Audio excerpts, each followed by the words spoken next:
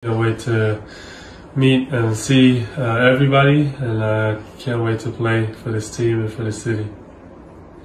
Ayan guys, mismo ang may-ari talagang winelcome na ang ating kababayan na si Kay Soto at talagang maiiba siya.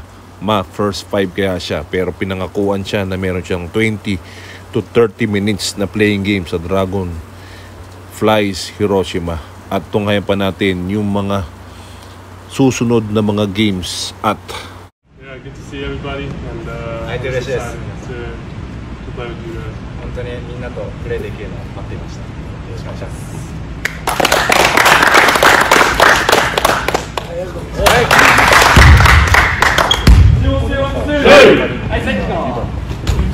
At dito makita talaga natin kung ano yung plano ng Japan League sa kanilang Facebook page at nakita nila ang credential ng ating kababayan na si Kay Soto talagang mayroong potensyal.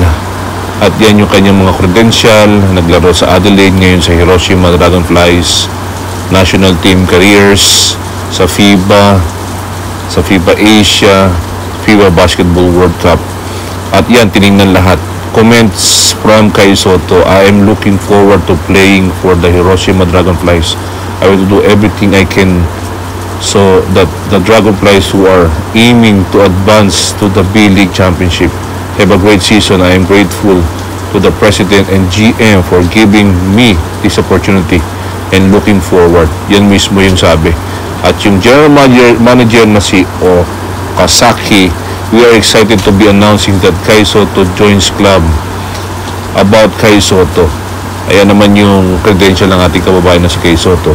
At talagang sila, ang goal din nila, eh, makahilera ni Yuta Watanabe at ni Rui Hachimura ang ating kababayan na si Kai Soto. Kasi si Kai Soto ay isa sa best Asian player na naglalaro at talagang uh, detail for how we contact with uh, him talagang dito isinasalaysay nila na talagang sikat na sikat hindi lang sikat malat mataas ang IQ at uh, nagkaroon ng magandang negosasyon at uh, itinuturo din sa kanya yung kultura at meaning of basketball sa city in Hiroshima his thought of changing his environment. Objectives getting new Asian player.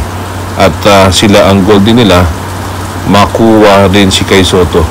How our teams will change with Kai Soto. We have been having a good season with some wins so far.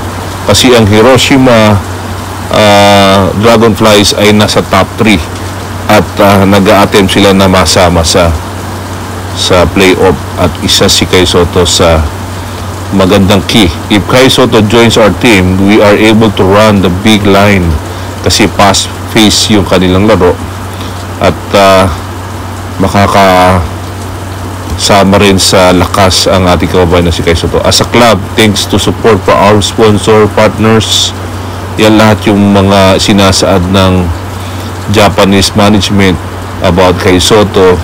Lalo na maganda ring endorser ang ating kababayan na si Kai Soto. As you all know, Hiroshima is the world famous city.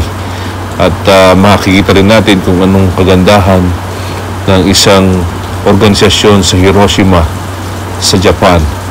Tsaka intention din ng uh, liga na ito kung ano yung planuhin din ni Kai Soto hindi lang mag-champion pero masama din siya sa pinakamalaking liga at mag-upgrade pa ang liga ng B-League to B1 to B1 League. Kaya ini-encourage natin na tayo ay manood ng game sa March 8 na ang unang game ng ating kababayan na si Kai Soto.